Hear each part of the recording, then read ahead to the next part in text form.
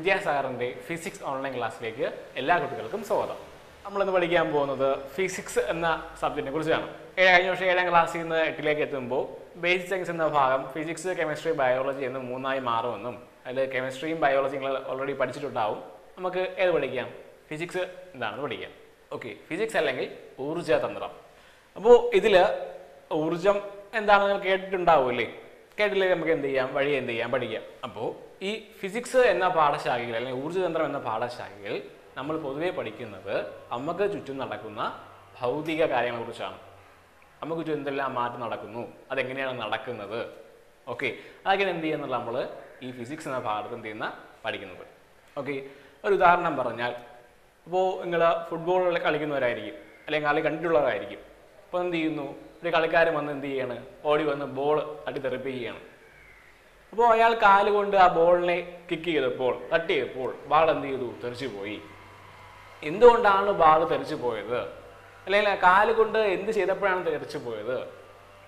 അങ്ങനെ ചോദിക്കുകയാണെങ്കിൽ വളരെ വിശദമായിട്ട് നമുക്ക് എന്ത് ചെയ്യേണ്ടി വരും? പറയേണ്ടി വരും. അതൊക്കെ നമ്മൾ എന്ത് ചെയ്യും? ആ ഈ ഫിസിക്സ് എന്ന പാഠഭാഗത്ത് എന്ത് ചെയ്യും? വഴി എന്ത് ചെയ്യും? തുടർന്ന് പഠിച്ചു വരും.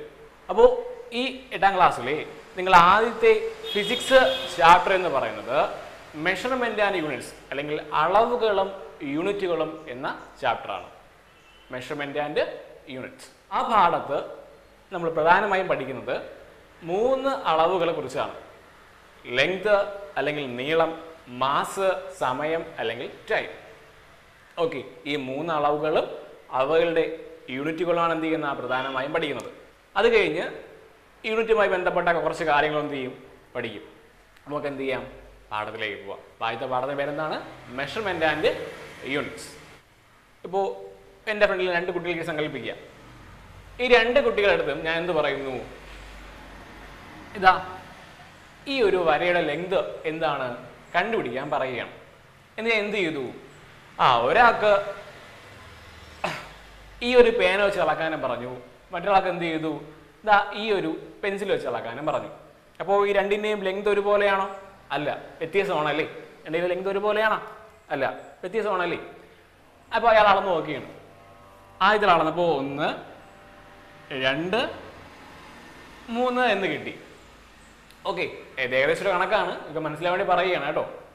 രണ്ടാമത്തെ ആൾ ഇത് വെച്ച് അളന്നു. അപ്പോൾ ഒന്ന് രണ്ട് മൂന്ന്. മൂന്ന് നിന്നോ? അല്ല മൂന്ന് കഴിഞ്ഞ് കുറച്ചുകൂടെ നിന്നില്ലേ? ഓക്കെ അപ്പോൾ ഈ രണ്ട് വെച്ച് ഇളന്നപ്പോഴും ഈ വരയുടെ ലെങ്ത് ഒരുപോലെയാണോ കിട്ടിയത്? അല്ല. പേന വെച്ച് അളന്നപ്പോൾ എത്ര കിട്ടി? മൂന്ന് കിട്ടി. എന്നാൽ ഇത് കഴിഞ്ഞപ്പോൾ എന്ത് കിട്ടി? മൂന്നല്ല കുറച്ച് അധികം ഉണ്ടായിരുന്നല്ലേ ഇത് നാലാമതൊരാൾക്ക് ഞാനും രണ്ട് കുട്ടികളല്ലാതെ നാലാമത്തെ എന്ത് ചെയ്താൽ പറഞ്ഞു കൊടുക്കാൻ പറഞ്ഞാൽ ആദ്യ കുട്ടി എന്ത് പറയും? മൂന്ന് പേന എന്ന് പറയും.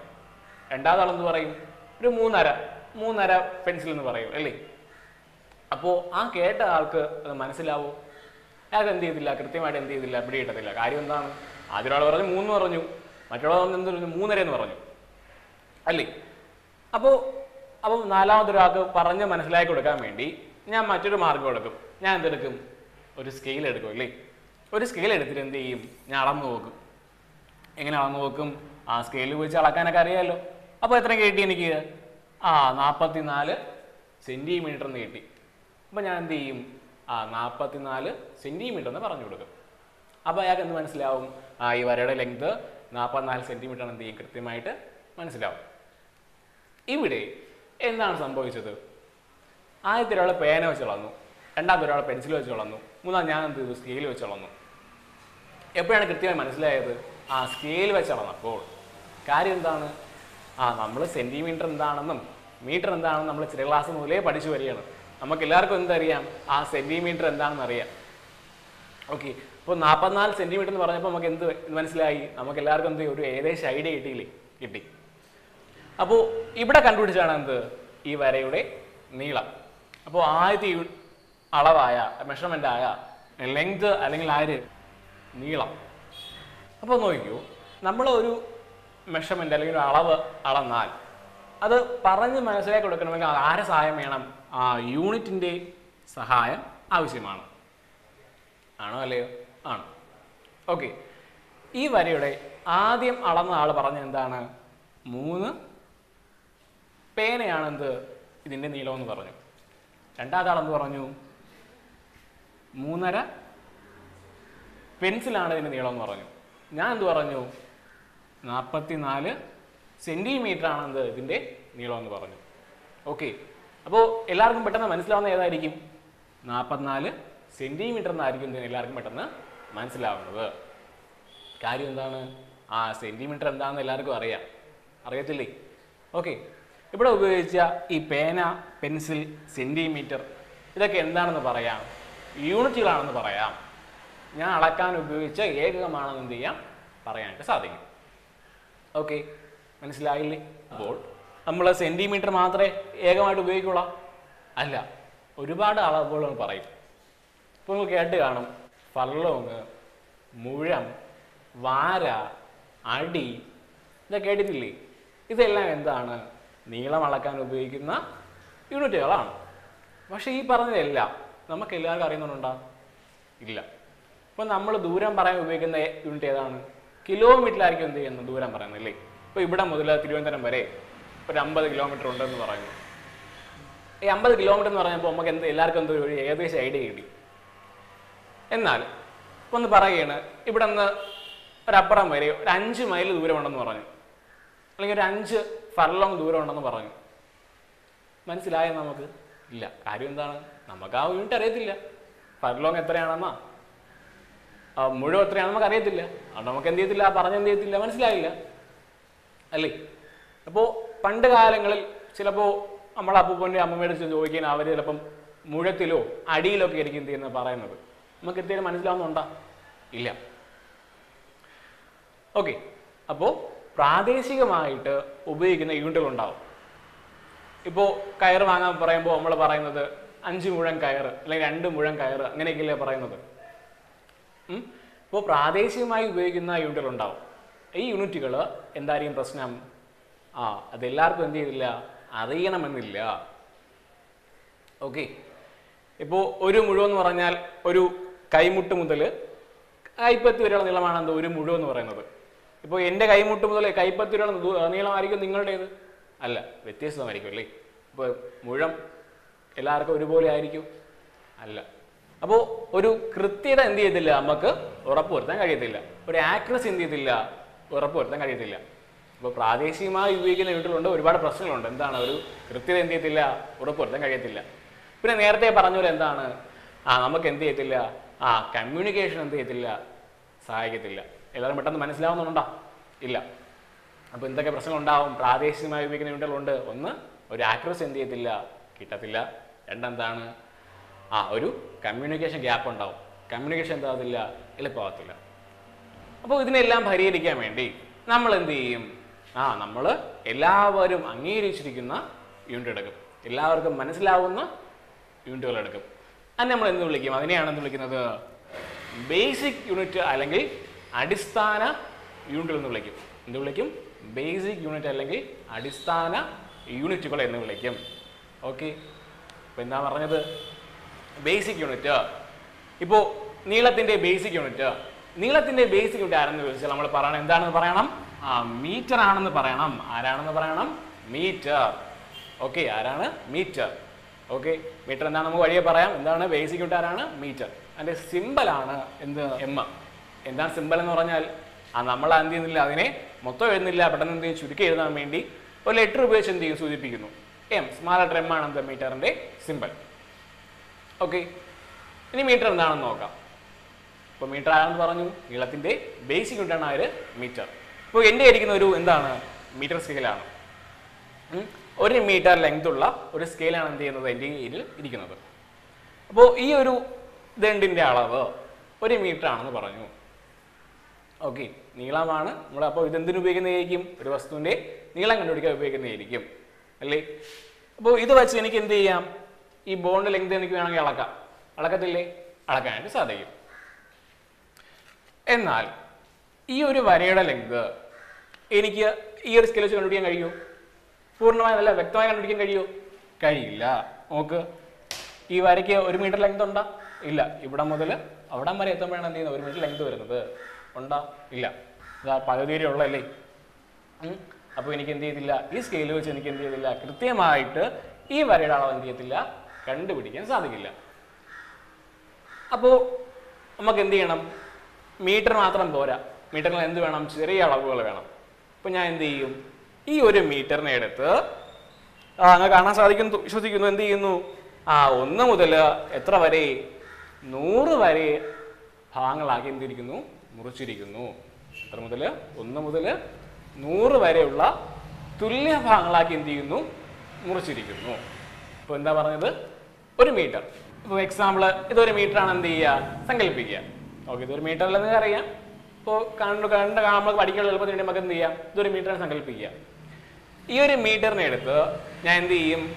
എനിക്ക് എന്ത് ചെയ്യണം? ഈ ഒരു ചെറിയ വരകൾ എന്ത് എന്ത് ചെയ്യണം? കണ്ടുപിടിക്കണം. അപ്പോൾ ഈ മീറ്റർ മതിയാ എനിക്ക്? പോരാ. അപ്പോൾ ഞാൻ എന്ത് ചെയ്യും? ഈ ഒരു മീറ്ററിനെ എടുത്ത് ചെറുതാക്കുമെന്ന് പറഞ്ഞു. എത്ര തുല്യ ഭാഗങ്ങളാക്കും? നൂറ്. നൂറ് തുല്യ ഭാഗങ്ങളാക്കി എന്ത് ചെയ്യും? മുറിക്കും. ഒന്ന് രണ്ട് മൂന്ന് അങ്ങനെ എന്ത് ചെയ്യും? ആ നൂറ് തുല്യ ഭാഗങ്ങളാക്കി എന്ത് ചെയ്യും? മുറിക്കും. ഓക്കെ. ഇതിലൊരു ചെറിയ ഭാഗമില്ലേ? ഇല്ലേ? ആ ഒരു ചെറിയ ഭാഗം നമ്മൾ എന്ത് വിളിക്കുന്നത്? സെന്റിമീറ്റർ എന്ന് വിളിക്കും. എന്ന് വിളിക്കും സെന്റിമീറ്റർ ഒരു വലിയൊരു മീറ്ററിനെ എടുത്ത് നൂറ് തുല്യ ഭാഗങ്ങളാക്കി മുറിച്ചതിൽ ഒരു കുഞ്ഞു ഭാഗമാണ് ആര് സെന്റിമീറ്റർ ഓക്കെ ഇത് വെച്ച് എനിക്ക് എന്താ ചെയ്യാം? കണ്ടുപിടിക്കാൻ സാധിക്കും. അല്ലേ? നമ്മൾ കണ്ടുപിടിക്കാൻ അറിയാം അല്ലേ?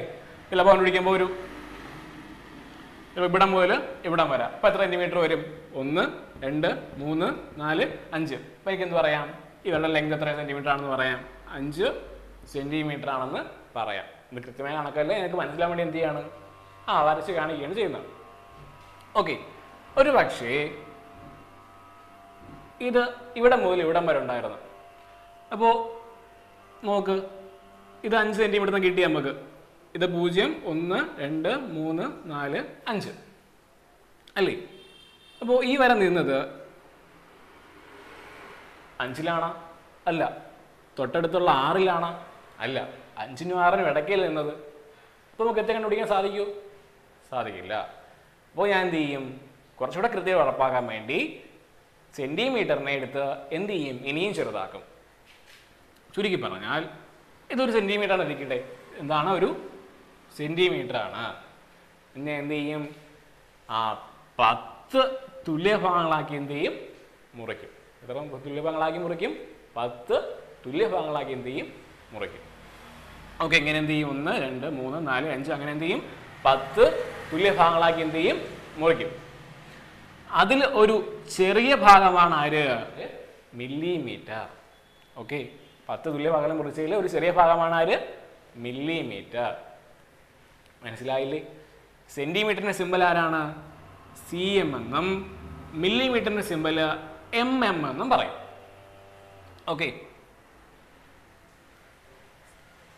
small letter C small letter M small letter M small letter M okay അപ്പോൾ നമ്മൾ ഏതൊക്കെ യൂണിറ്റ് പഠിച്ചു കഴിഞ്ഞു? മീറ്റർ പഠിച്ചു. പിന്നെ സെന്റിമീറ്റർ പഠിച്ചു. ഇപ്പം ആരും പഠിച്ചു? മില്ലിമീറ്റർ പഠിച്ചു. അപ്പോൾ ഇനി എനിക്ക് എന്ത് ചെയ്യാം? കണ്ടിന്യൂ സാധിക്കത്തില്ലേ ഇപ്പം അഞ്ച് മുതൽ ആറ് വരെ എന്ത് എത്ര ഭാഗങ്ങൾ കാണും? ആ പത്ത് തുല്യ ഭാഗങ്ങൾ കാണത്തില്ലേ? അപ്പോൾ അഞ്ച് കഴിഞ്ഞ് ഒരു അഞ്ചാമത്തെ വരെയാണ് നിൽക്കണമെങ്കിൽ എത്ര കിട്ടും? അഞ്ച് സെന്റിമീറ്റർ കഴിഞ്ഞ് പിന്നെ ആര്? ഒരു അഞ്ച് മില്ലിമീറ്ററും കൂടെ ഉണ്ട്. അല്ലേ? അപ്പോൾ എത്ര ഞാൻ എന്ന് പറയും? അഞ്ച് പോയിന്റ് അഞ്ച് സെന്റിമീറ്റർ ആണ് എന്ത്? ഈ വരയുടെ ലെങ്ത് എന്ന് എനിക്ക് എന്ത് ചെയ്യാൻ സാധിക്കും? പറയാനായിട്ട് കഴിയും. ഓക്കെ ഇതൊക്കെ നിങ്ങൾ അറിയാവുന്ന കാര്യങ്ങളാണ് അല്ലേ? ജസ്റ്റ് നമ്മളൊന്ന് ഓർമ്മ പുതുക്കിയെന്നേ ഉള്ളൂ.